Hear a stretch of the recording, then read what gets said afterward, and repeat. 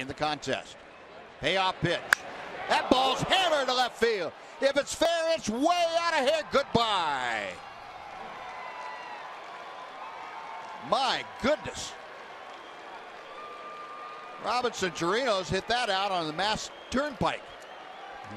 You know, Robinson had started the season 0 for 7, but even though he was 0 for 7, you had a good feeling about him because he looked good at the plate. He had good swings. He wasn't hitting everything hard, but he looked comfortable at the plate. And he really looked comfortable at the plate on that ball. It's nice to see a Ranger tee off on one. I'd like to been able to see where that ball landed.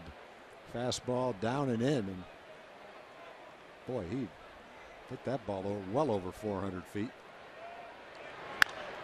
High hopper, that's down the line. It's by everybody, headed toward the corner. Choo around third, he is being waved home. Here comes the relay throw from Pedroia, not in time. And all the way to third goes Fielder. The Rangers lead two to nothing. How about that? 1 1. Hard hit ball up the middle. Base hit for Beltre. Fielder scores. Beltre with the RBI. The Rangers make it a three spot. 3 0 Texas. Of those strikes in this inning have been hit pretty hard. Here's a fly ball to center field. Sizemore started back. Now he has to come on. He keeps coming. He can't get there. It's in for a base hit. Beltre scores. Being stopped at third is Rios. And a bloop single for Donnie Murphy makes it a 4 0 game. They are going payoff pitch. High ball four.